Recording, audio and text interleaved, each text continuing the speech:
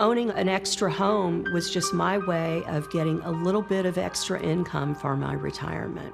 Patty Peoples never imagined that buying two small investment properties near her home would turn into such a colossal nightmare. Oh my gosh. I mean, what a year this has had been. Literally one year ago this time, the house was in shambles. I can see that they've changed the lock on the front door. How is that not breaking and entering? The 61 year old from Jacksonville, Florida, became a victim of squatters, a maddening situation that cost her more than $40,000 and put her in danger. I thought, you know, if I put the key in the door, then I don't know what's waiting on the other side. It was last year when Peoples put one of her houses on the market. It sat empty for less than a month before two strangers broke in, according to Jacksonville police, and staked their claim, taking over. I called 911, and as I'm describing to the officer that there may be somebody that had broken and entered into my house, out walks a young woman and she said, Well, I rented this property yesterday. It only got worse. I own this house. It doesn't f- matter. Yes. Tensions escalating in this heated altercation the very next day. After Peoples entered her home and asked the strangers to leave. And she's still standing here. Excuse me. If you touch me again, I have every The right to be in this you, house. You don't have every right to be in the house I at all. do, ma'am. You do not. I- when- you do not. I'm not touching you, Maya.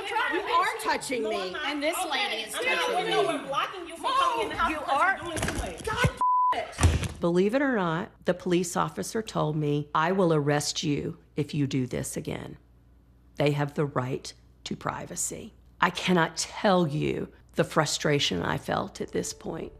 According to this police report obtained by ABC News, the squatters had a fabricated lease and were repeat offenders. To Peoples' surprise, police told her there was little they could do. The police gave me the really devastating news was that this was not a crime, that this had to be managed in civil court.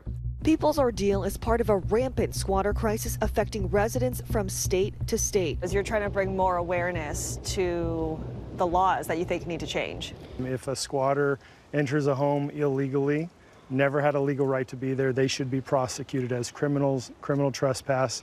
If they present a fake lease, it should be fraud. When someone is in a in a property, they have what is called adverse possession. They take that property on as their own, and they do have certain legal rights.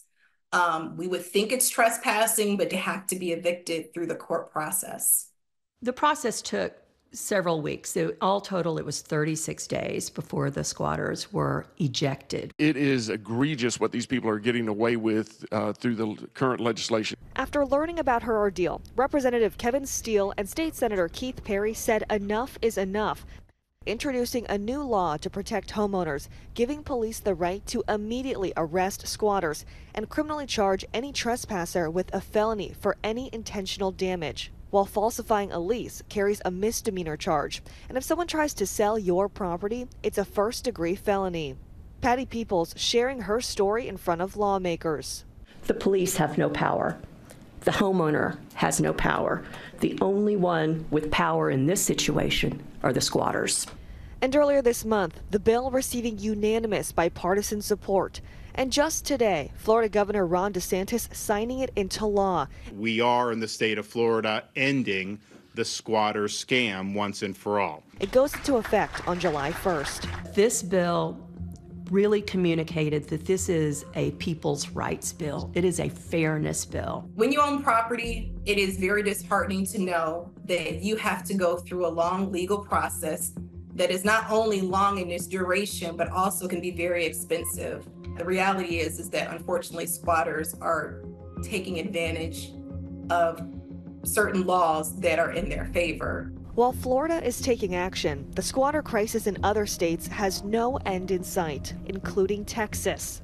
Time and time again, we told you about homeowners fighting to get their property back after squatters moved in. Well, now it appears it's happened once again. And in New York, a squatter standoff caught on camera by our station WABC. You shouldn't be trying to steal my house. Yes, you are. There's a man sleeping right there. Get out of my house. Adele Andaloro says she inherited this New York City house, but a group of people moved in and changed the locks. Who these people? the situation. Yeah, but they're house, man. The NYPD called in, arresting one man. Why is it that I have to leave and he doesn't have to leave? Because technically he can't be kicked out. We need to go to court. But this man, forcing his way back inside, was allowed to stay. Call the police again. The man telling WABC investigative reporter Dan Krauth he signed a lease in October, though he showed no proof. So how does this all end then? When do you leave? The way it ends is, is either she pays me my money that I put into the house, pay me the money, and I'll leave, or send me to court, and we deal with the judge in court. In New York City, squatters have tenant rights after 30 days, making this a landlord-tenant dispute. So when Adele had the locks changed again... You're getting arrested right now? Being arrested. For what? For being in my for being in my own home. Police took her away in handcuffs for unlawful eviction. The charges against Andaloro have since been dropped. We're keeping track of it on our cell phones. We're taking video. We're uh, taking pictures. With few protections for homeowners, infuriated residents in this upscale Los Angeles neighborhood forming a neighborhood watch. You said squatters are treating this like their neighborhood. It's a constant problem. I've lived here since 1991. It's a very different vibe now. For me, it personally, it's triggering. I don't feel safe. What is your worst fear?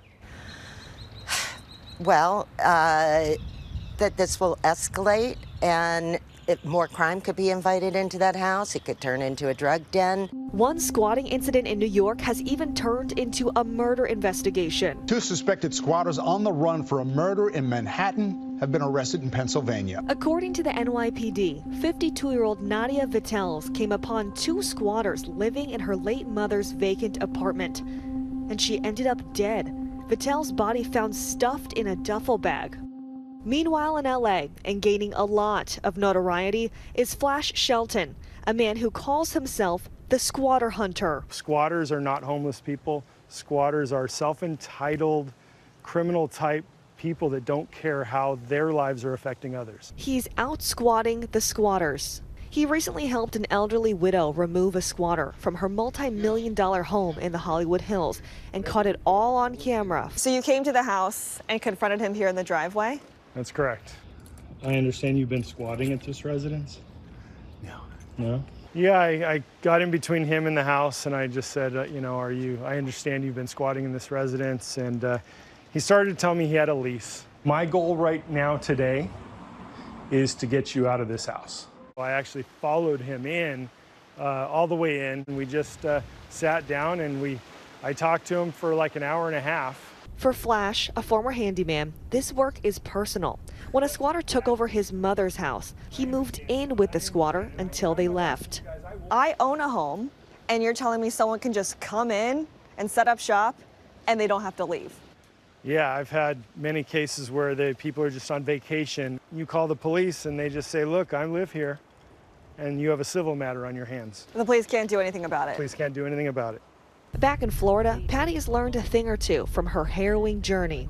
They actually go to open houses as a legitimate buyer or renter and are scoping out the property. It's important to post no trespassing signs all over your property. The second thing is is that there exist non-drillable locks. Many of these squatters drill out the deadbolt on your front door. Don't do like I did. Don't approach the squatters. While her experience has left her feeling vulnerable, Peoples is grateful homeowners like her are now protected under the law. The fight is absolutely not done yet. It must be taken to every state.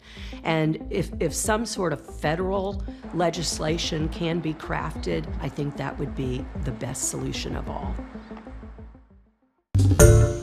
Hi everyone, George Stephanopoulos here. Thanks for checking out the ABC News YouTube channel. If you'd like to get more videos, show highlights, and watch live event coverage, click on the right over here to subscribe to our channel and don't forget to download the ABC News app for breaking news alerts. Thanks for watching.